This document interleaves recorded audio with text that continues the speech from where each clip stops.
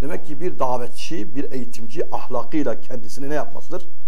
Kendisini kabul ettirmektir. Eğer bir davetçi kendisini kendi ahlakıyla e, ispatlayamıyorsa, e, söyleyemiyorsa o zaman e, gerçekten çok ciddi şekilde onun davası, onun efendim yaşamı boştur. Onun için Efendimiz Aleyhisselatü Vesselam ben sizlere bu dağın arkasından atlıların geleceğini haber verirsem bana inanır mısınız? Hep bir ağızdan hep bir ağızdan inanıyoruz. Hep bir ağızdan. İnanıyoruz çünkü sen hiçbir zaman yalan konuşmadın ya Muhammed.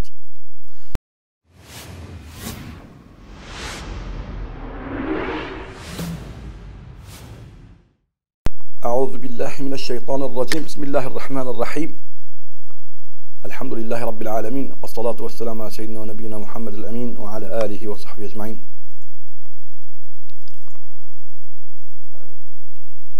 Bugün inşallah Allah izin verirse Ta'limul Muteallim Tarikut Taallum adında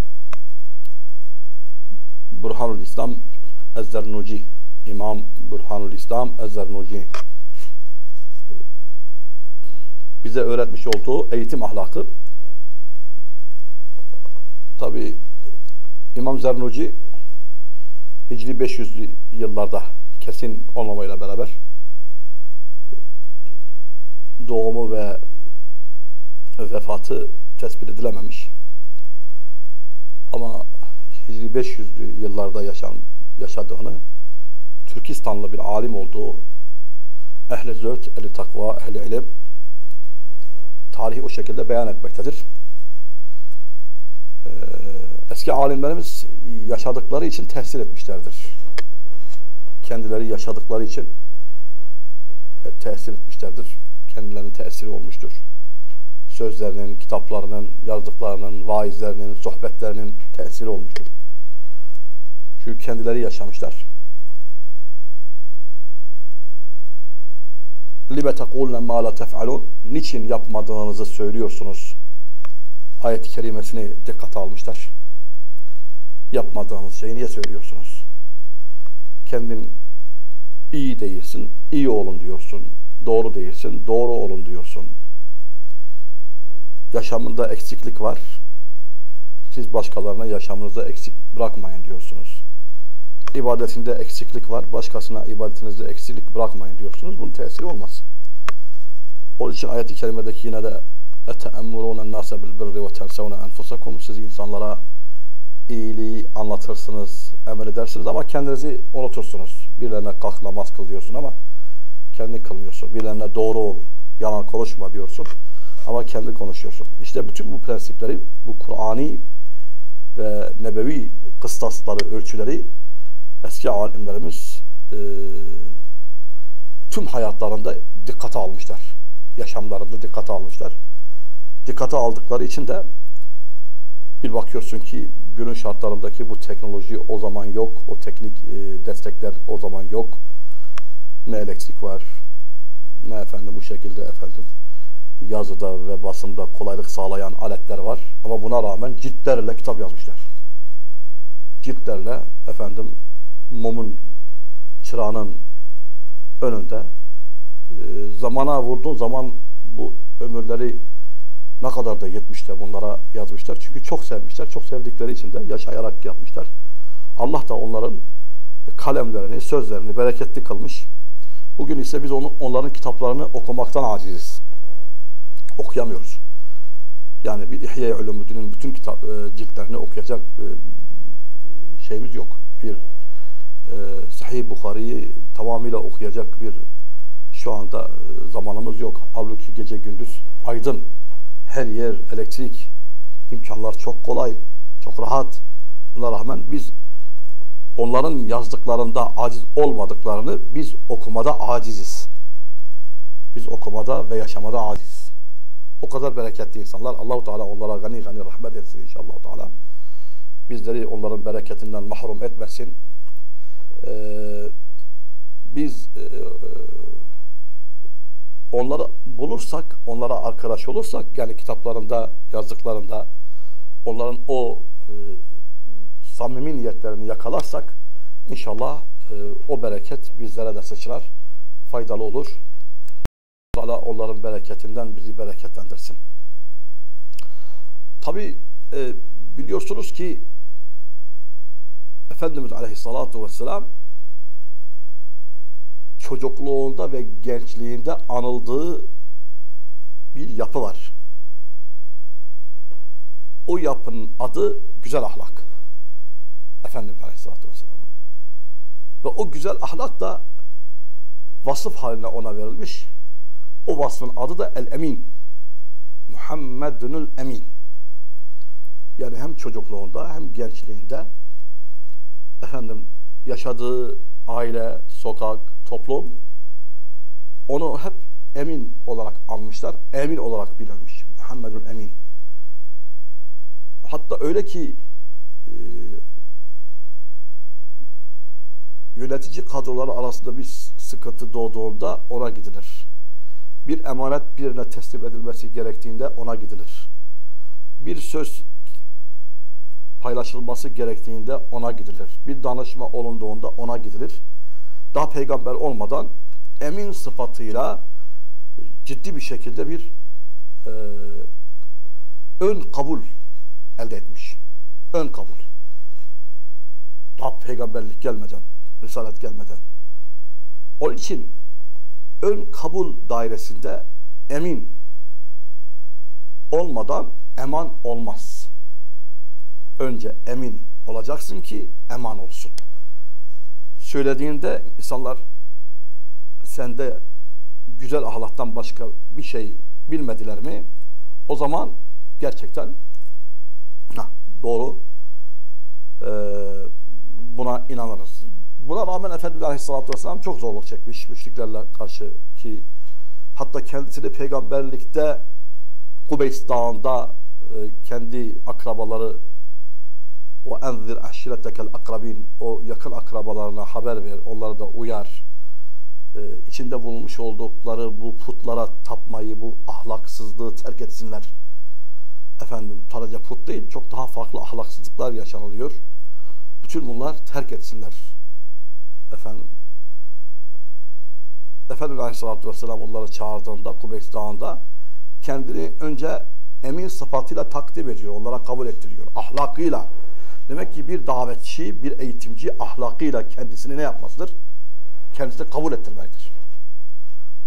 Eğer bir davetçi kendisini kendi ahlakıyla e, ispatlayamıyorsa, e, söyleyemiyorsa o zaman e, gerçekten çok ciddi şekilde onun davası, onun efendim yaşamı boştur. Onun için Efendimiz Aleyhisselatü Vesselam ben sizlere bu dağın arkasından atlıların geleceğini haber verirsem bana inanır mısınız? Hep bir ağızdan hep bir ağızdan inanıyoruz. Hep bir ağızdan. İnanıyoruz çünkü sen hiçbir zaman yalan konuşmadın ya Muhammed. Şimdi sen hiçbir zaman yalan konuşmadın belgesi, garantisi kazanmış Efendimiz Aleyhisselatü Vesselam. O topluma onu elde etmiş.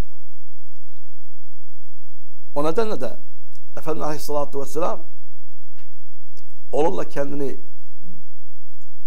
ne yapıyor? İfşa ediyor.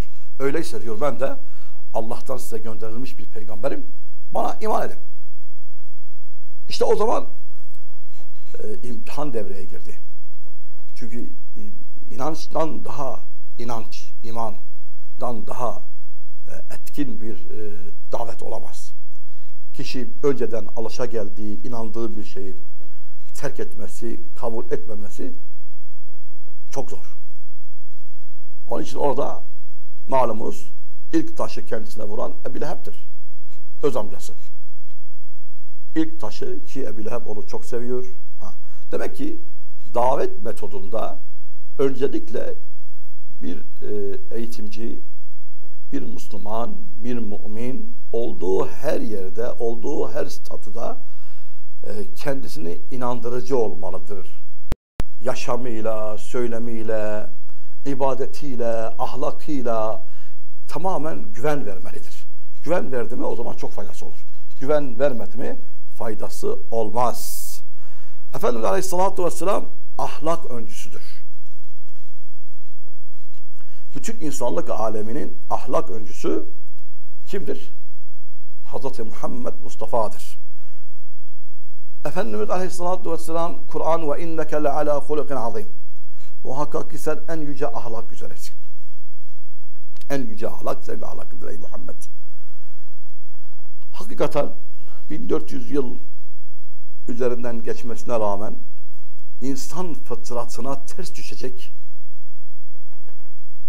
daha hiçbir şekilde onu bir söylemine rast gelinmedi, denk gelinmedi. Ne demişse hem insanın fıtratına uygun, hem insanın sıhhatine uygun, hem toplumsal huzura uygun. Hiçbir şey onun söylediklerinde hayır. Ee, siz bunu söylüyorsunuz ama işte bu tıbben, bu e, sosyal bazda e, insanla orantılı değildir denilemedi. O ahlakı her zaman en üst seviyede tutuldu. Kur'an'ı tebliğ etmeyle, kendi söylemleriyle, fiiliyle de ispat etmesi onun gerçekten insanlık aleminin e, bir nuru olduğu, Kur'an zaten nur olarak onu tarif ediyor. Ve kendi başına bir aydınlatıcı olduğu tamamen ispatlanmıştır. Onun için bizim için e, sanki bizlerin de kaybettiği birisi şu anda. Yani Efendimiz Aleyhisselatü Vesselam ahlak öncülüğünde bizim e, rehber edindiğimiz değildir. Bu zafiyete düştük ümmet olarak, insanlık olarak.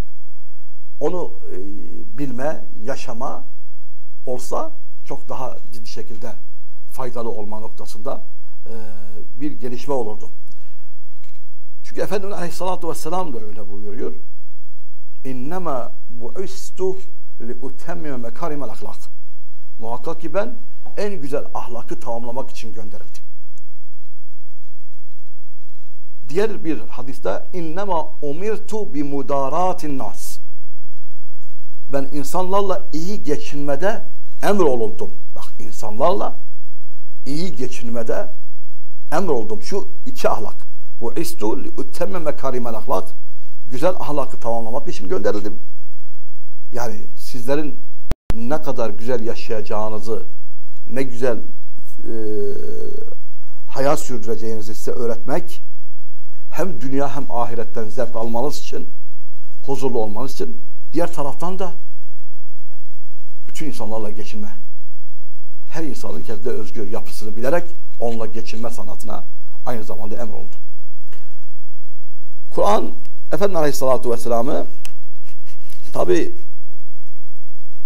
لَقَدْ كَانَ لَكُمْ fi Resulillahi üsvetü hasene. Bize işaret veriyor. Yani bir toplumsal şeyde لَقَدْ كَانَ لَكُمْ muhakkak sizin için vardır. Fi Resulillahi Allah Resulü'nde ne vardır? Üsvetü hasene. Güzel ahlak örnekleri vardır. Biz toplum olarak hangi seviyede olursak olalım, hangi rütbede olursak olalım, hangi makamda olursak olalım, kadınlı erkekli Efendimiz Aleyhisselatü Vesselam'dan faydalanmak zorundayız. Kur'an'ın göstermiş olduğu bu işaretten efendim e, yol almalıyız ve ona doğru gitmeliyiz. Ona doğru gitmeyen bir toplum helaka doğru gidiyor. Felakete doğru gidiyor. Efendimiz'i terk eden bir toplum helak olmuştur. Helak olmuştur. Olmuştur diyorum çünkü peygamberimizden önceki diğer peygamberlerde baktığımız zaman hangi toplum kendi peygamberine uygun hareket etmemişse helak olmuştur. Bizim de helakimiz en büyük helakimiz onu kaybetmektir. Onu bilmemizdir. Onu tanımadan uzaklaşmamızdır. Kur'an'ı yaşamak. O nedenle bizler hakikaten ayet-i kerimenin bize vermiş olduğu taavenu alel birri ve takva ve la taavenu alel ismi vel udvan ayet-i kerimenin parolasını kendi hayatımıza geçirmemiz gerekiyor. Taavenu alel birri ve takva iyilikte ve takvada yardımlaşın. Bugün topluma bakıyoruz. İyilikte ve takvada yardımlaşma tamamen kalkmış. Kin, nefret, haset, gıybet ve la taavenu alel ismi vel udvan günahlarda yani birbirinize günahı teşvik etmede ve düşmanlıkta sakın ha birbirinize destek olmayın. Kinde ve nefrette birbirinize tetikleyici olmayın. Ama gel gör ki bizler bu e, noktada Kur'an'ın bu parolasını maalesef e, sanki böyle e, dikkate almıyoruz. Halbuki Efendimiz Aleyhisselatü Vesselam bizlere çok güzel ahlak değeriyle geliyor ve ahlakı anlatıyor. Ahlak.